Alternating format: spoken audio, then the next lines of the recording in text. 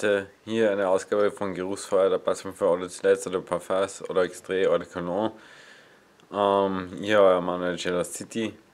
Heute mal ohne Intro und es geht um zwei Eau de Parfums, bis es halt ein Eau de Toilette und ein Eau de Parfum. Das Eau de Toilette ist L'Homme Ideal von Cologne und die Hauptakkorde sind mandelartig, zitrisch, aromatisch, süß, holzig, nussig, Vanille, Leder, fruchtig, ambriert.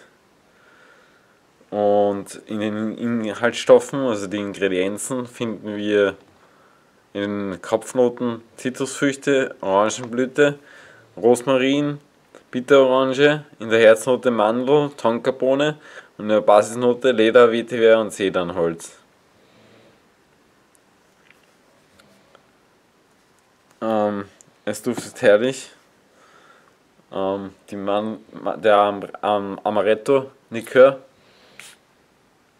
die spiegelt sich wieder und gibt eine mandelartige, weil Amaretto-Likör aus Mandel, Mandeln, Mandeln gewonnen wird, ähm, Duftnote. Ist herzhaft ähm, und sehr erwärmend, dieses Eau de. Das nächste ist das Midnight Ouch von Kelsey Berwin. Das ist dieses hier.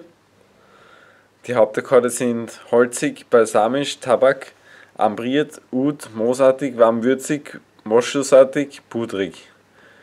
Und die Kopfnoten, also die Ingredienzen sind Copaifa-Balsam, Copaifa-Balsam, Salbei, Bergamotte, Herznoten Kaschmirholz und Rose und Basisnoten Tabak, Agerholz, Sandelholz, Eichenmoos und Ambra.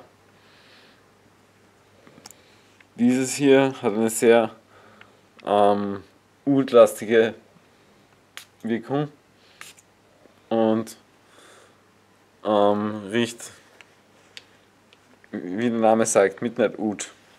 So wie der Flakon ausschaut, so riecht es auch. Genauso wie bei L'Homme Ideal. L'Homme Ideal bedeutet der perfekte Mann. Man muss nicht ein perfekter Mann sein, um so einen Parfum zu tragen, natürlich. Und Midnight Oud muss man nicht zur Mitternacht tragen. Also danke fürs Zuhören. Euer Manager aus City, das war ein, ein Video der Plattform Geruchsfeuer, der Plattform für Eure Toilettes oder Colors oder Parfum und Eure Extrait. Tschüss, Baba, bis zum nächsten Mal.